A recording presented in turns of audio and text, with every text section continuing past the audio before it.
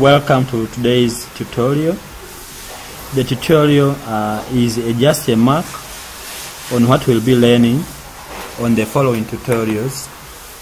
Uh, we'll be learning about how to create a simple, a simple information system for a school. Uh, we'll create a system like this one here. Uh, this is just a sample of the information system for example, uh, a person can log in uh, using uh, his or her own username and a password. This one here is an admin and the system will have submenus uh, for, for the uh, admin to interact with and also the system will have uh, the part of other staffs uh, as teachers. As teachers.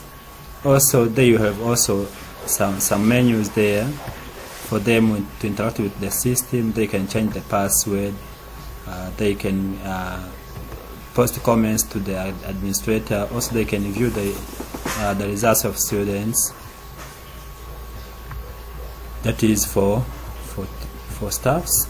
And also we can have a a place where a student can create uh, his or her own account. For example here this student uh, is can be able to create uh, his account put the password and confirm the password put the date, ask uh, a certain question. For example, here 18 plus 1 minus 8, this one here gives us 11. Now the student can be able there to create uh, his or her account.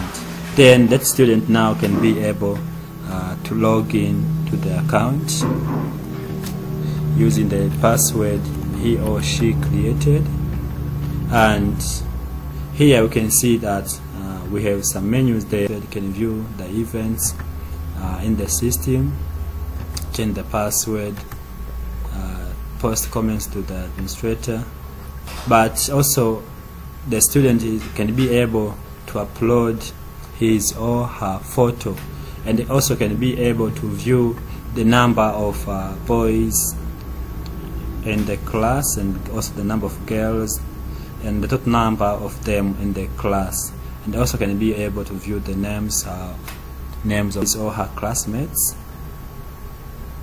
Now let us go step by step in the coming tutorials. Thank you